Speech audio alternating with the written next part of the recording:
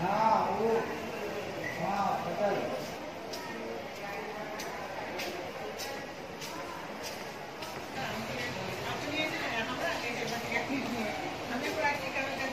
पूछता है और जब भी आपका उन्हें जाता है इसीलिए कहते हैं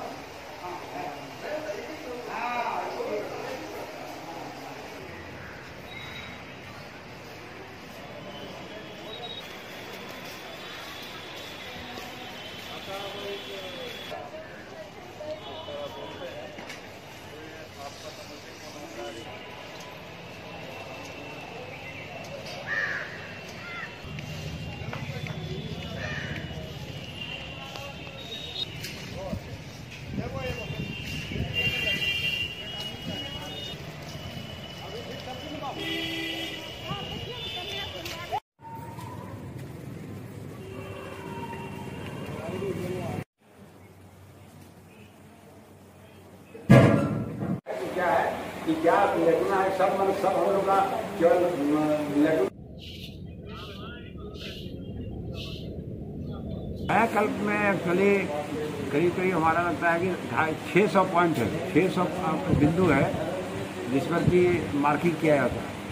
उसमें जैसे होता है कि नर्सेज का आपका स्टाफ कितना कॉम्पिटेंट है, आपका सफ़ाई कर्मचारी कितना कॉम्पिटेंट है, आपके खाने वाले का क्या है, सभी डॉक्टर वैक्सीनेटेड हैं या नहीं स्टाफ सब वैक्सीनेटेड है कि नहीं, सफ़ाई तो एक अलग मुद्दा है। फिर लाइट जो है आपका जो ओटी का है प्रसव रूम का है या वार्ड का है, उसका कितना लक्स लाइट है, सफ़ाई का क्या हाल है और सबसे इम्पोर्टेंट क्या है, जो जितना बाहर का जो नाली वाली सब रहता है, वो सब भी आपका साफ़ है कि नहीं और उसका सराउंडिंग्स आपका साफ़ है कि नहीं। ये सभी चीज़ है। और छोटी छोटी चीज़ पर है मतलब सबसे इम्पोर्टेंट है कि आप कितना तत्परता से सफ़ाई करते हैं, कितना तत्परता से पेशेंट को डील करते हैं और सबको, जैसे नर्सिंग का है, वहाँ टेस्टिंग होता है कि साहब ये ये ये केस आया था, हम उसको कैसे मैनेज करेंगे? उनका अलग इंटरव्यू होता है। हमारे डिफरेंट डिफरेंट केस का ओटी में जाएँगे तो आपको इन्फेक्शन है तो क्या है या ओटी का इन्फेक्शन रेट कितना है? पेशेंट मरा तो क्यों मरा? तो सब बिंदु की जाँच की जाती है।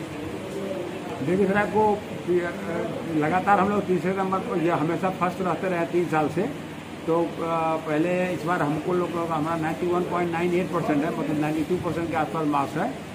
तो ये हमारा उपलब्धि है कि लगातार तीन कंस्टिट्यूट हम लोग मोर देन 90 परसेंट है। मतलब ये जो भी हमारा, हमसे जो पीछे सब है जो फ़र्स्ट भी किया पिछले बार, जिसको हम लोग को पिछले बार चूँकि अठारह में फ़र्स्ट किए थे, फिर उन्नीस में फ़र्स्ट कर गए तो हम लोग को तो प्राइज कैश मनी नहीं मिला। परंतु मार्क्स का डिफरेंस पाँच से छः परसेंट का था। इस बार तो आठ परसेंट का डिफरेंस है, दोनों के मार्क्स में। फ़र्स्ट और सेकंड के बीच में। और प्राइज इस बार क्योंकि पिछले बार तीन लाख संतावना पुरस्कार मिला था। इस बार पचास लाख की राशि मिलेगी और पचास लाख में हम लोग को साढ़े सैंतीस लाख जो है तो इसके डेवलपमेंट के लिए खर्चा करना पड़ेगा और साढ़े बारह लाख हम स्टाफ में वितरित होगा। किसी भी परिजन के द्वारा कोई शिकायत नहीं उस संबंध में की गई।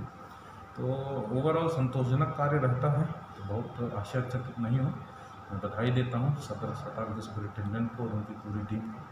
और उम्मीद करता हूँ ये लोग इसी तरीके से अच्छा काम करते रहेंगे और विशेष रूप से इस महामारी के टाइम पे जो कोविड मरीजों के ट्रीटमेंट के लिए बढ़िया काम कर रहे हैं और ऐसा ही कार्य जारी रखेंगे और कहीं भी किसी भी परिजन को कोई शिकायत हम लोग को नहीं प्राप्त